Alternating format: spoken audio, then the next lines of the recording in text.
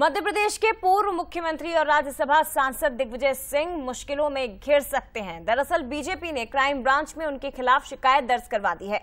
दिग्विजय सिंह के खिलाफ एफआईआर दर्ज करने की मांग की गई। वीडी शर्मा पर की गई टिप्पणी को लेकर ये शिकायत हुई है। दिग्विजय सिंह ने अमर्यादित शब्दों का इस्तेमाल किया था। बीजेपी की ओर से आरोप लगाए जा रहे हैं। बीजेपी जिला अध्यक्ष सुमित पचौरी ने शिकायत दर्ज करवाई है।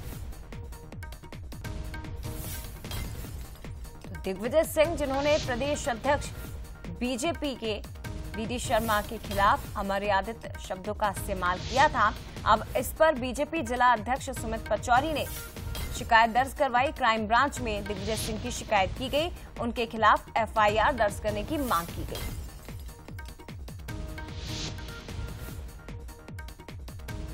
दिग्विजय सिंह की मुश्किलें बढ़ सकती हैं। ये तस्वीर आप देखिए उस दौरान की है जब क्राइम ब्रांच के दफ्तर पहुँचे थे।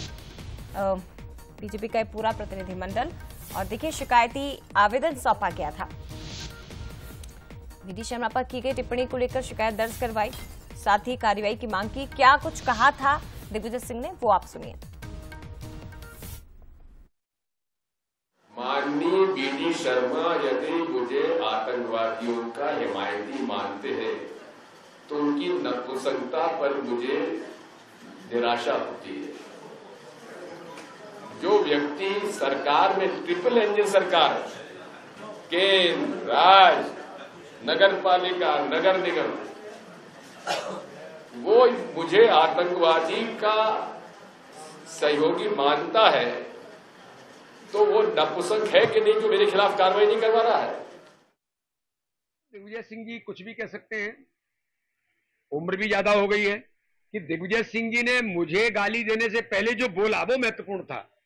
कि भारतीय जनता पार्टी, पंच, सरपंच, पार्षद, विधानसभा, लोकसभा, सब में भारतीय जनता पार्टी आ गई है। तो ये उनकी जो मन की पीड़ा है, ये उन्हें मुझे लगता है गुस्सा दिलाती है। मध्य प्रदेश की जनता का आशीर्वाद है, और भाजपा के कार्यकर्ताओं की ताकत है, जिसके बल पर मैं खड़ा होता हूँ। तो आपने देखा, तस्वीरें और वो बयान भी आपने सुन लिया क्योंकि सुमित पचौरी के नेतृत्व में ही बीजेपी का प्रतिनिधिमंडल क्राइम ब्रांच के दफ्तर पहुँचा था। शिकायती आवेदन दिया, एफआईआर की मांग की गई। बीजेपी का ये कहना है कि दिग्विजय सिंह जानबूझकर इस तरह के शब्दों का, अमर्यादित शब्दों का और स्तरहीन टिप्पणियों का इस्तेमाल करते हैं। सीधे रुक करते रंजना दुबे हमारे साथ इस वक्त लाइव जुड़ गई हैं। रंजना, क्या हो सकता है आगे? क्योंकि बीजेपी प्रतिनिधि मंडल तो पहुँचे थे शिकायत दर्ज करवाने। क्या अब मुश्किलें बढ़ सकती हैं दिग्विजय सिंह के इस मामले में? और ज़ाहिर सी बात है कि बीजेपी के प्रदेश अध्यक्ष पर अगर, अगर टिप्पणी की गई है तो कार्यकर्ता इस मुद्दे को छोड़ेंगे नहीं इतनी आसानी से।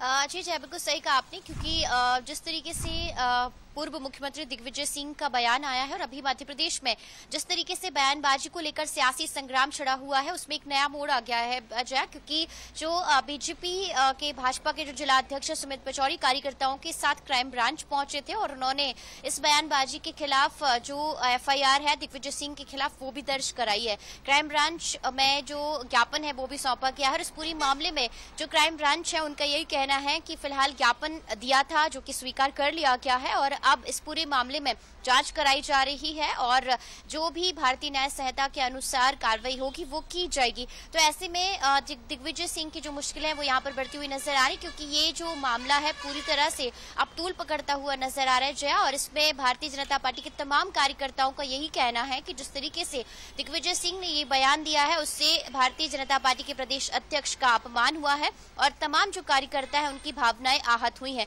अब देखना यही होगा कि इस पूरे मामले में जिस तरीके से जाँच की जा रही है। उसके बाद क्या कुछ क्राइम ब्रांच की तरफ़ से भारतीय न्याय संहिता के अनुसार कार्रवाई की जाएगी? जया। बहुत धन्यवाद आपका, रंजना। लेकिन निश्चित